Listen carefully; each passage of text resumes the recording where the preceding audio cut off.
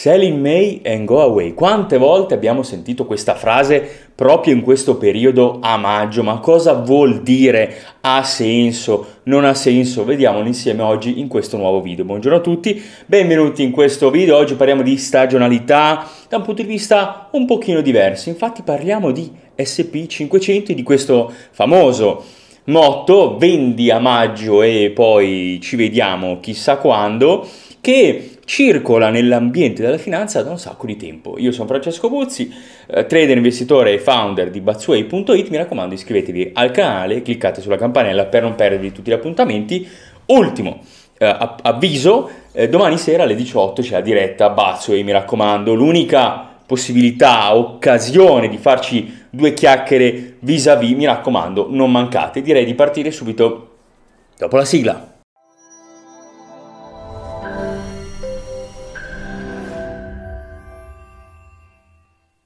Sell in May and go away, tipica strategia del sentito dire, del sentito popolare riguardo all'SP500, secondo la quale forse è meglio vendere a maggio e ricomprare, non c'è esplicitato nel proverbio, a ottobre. Questa doppia stagionalità lunga sei mesi in cui forse una strategia profittevole potrebbe essere esattamente questa, vendere l'SP 500, che è un indice e questa cosa qua fa tutta la differenza del mondo. Io per voi ho portato un po' di dati, facciamo un po' di ragionamenti interessanti, a partire proprio dai dati.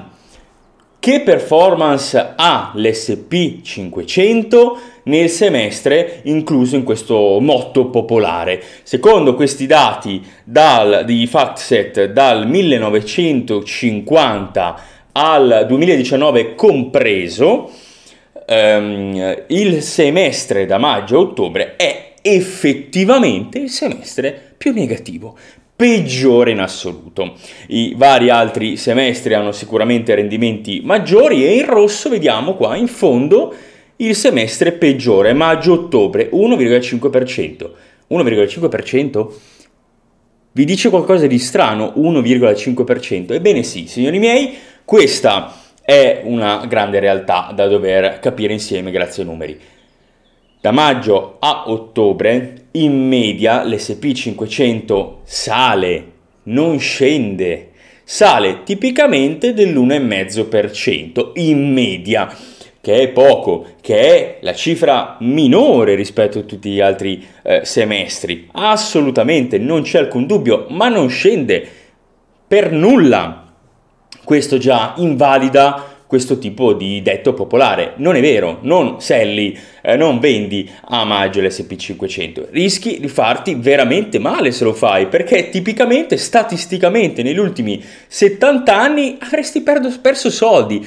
E questa è una verità che si può trovare grazie ai numeri, grazie all'analisi statistica quantitativa. Ed è una cosa molto importante perché ciò che è tramandato in senso eh, popolare per tradizione anche in finanza o viene certificato dai numeri e dagli studi o è fuffa, nulla di concreto, nulla di vero valore.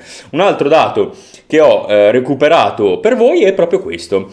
In questo caso abbiamo due soli trimestri, quindi fissi, maggio, ottobre, novembre, aprile. In rosso, le colonne rosse, abbiamo il, appunto il semestre teoricamente di eh, trend short, ribassista, e in blu-azzurro il trend eh, fuori da questo semestre, quindi evidentemente eh, rialzista. Beh, vediamo che eh, la differenza è notevole in, alcune, eh, in alcuni lassi di tempo, però non è mai negativa, la barra rossa non è mai negativa.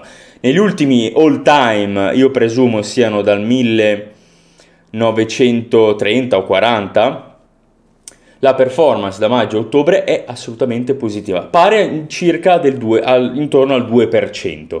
Eh, certo, è, è inferiore rispetto all'altro semestre, ci mancherebbe, assolutamente vero, però è positiva, questo detto è falso. Ma attenzione, stiamo parlando quindi di stagionalità, si può definire stagionalità questa qua sull'SP500?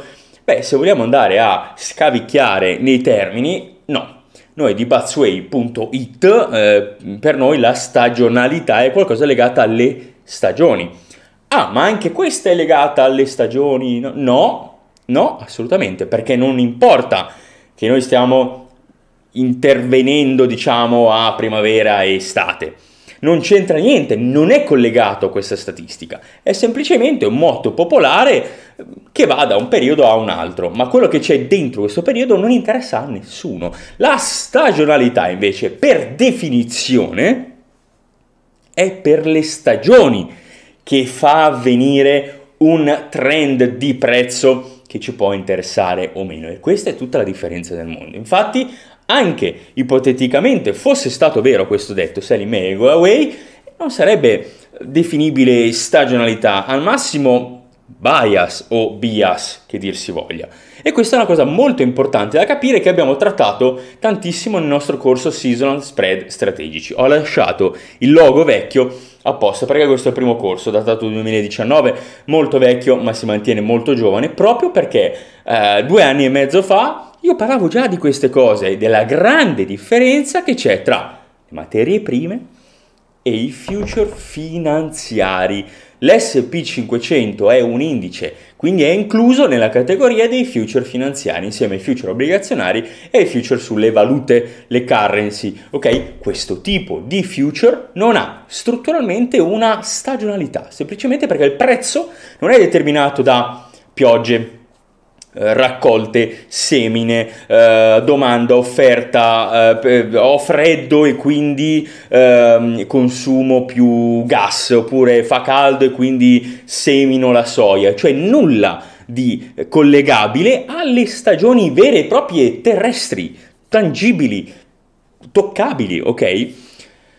Questa è una differenza estremamente importante, ma altrettanto sottovalutata, non compresa. Ci possono essere, eh, con eccezioni incredibili, alcuni trend di prezzo eh, sui future finanziari. Potrebbe essere, ma uno, non definiamo le stagionalità, Due, attenzione a valutarle bene. Perché? Perché le stagionalità si possono valutare in due modi ed è quello che facciamo.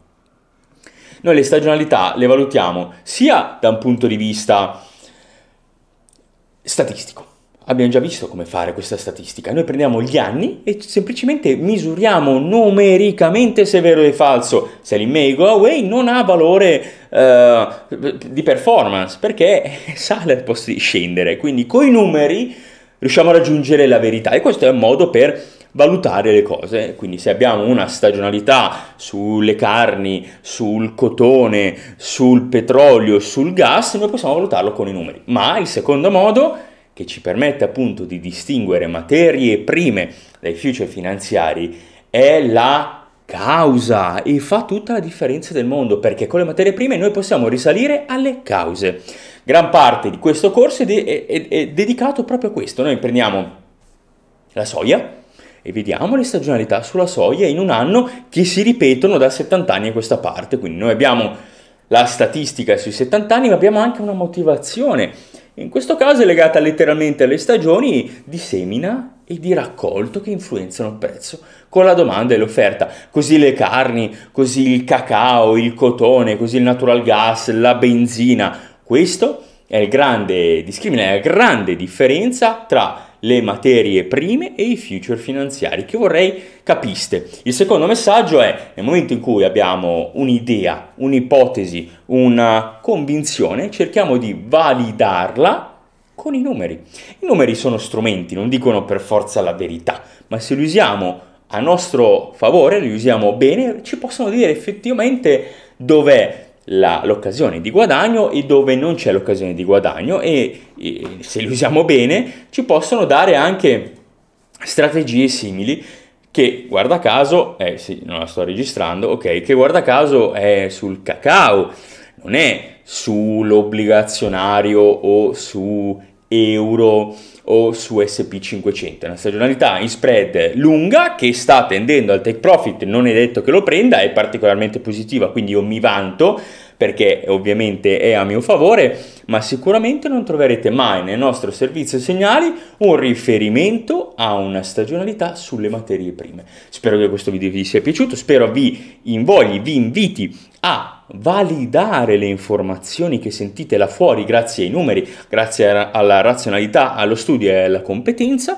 Noi ci vediamo domani sera alle 18 per la diretta e se volete informazioni o volete comprare il corso Season Express Strategici, link in descrizione o numero verde 800 475 300. È stato un piacere, buon giovedì, a domani, ciao!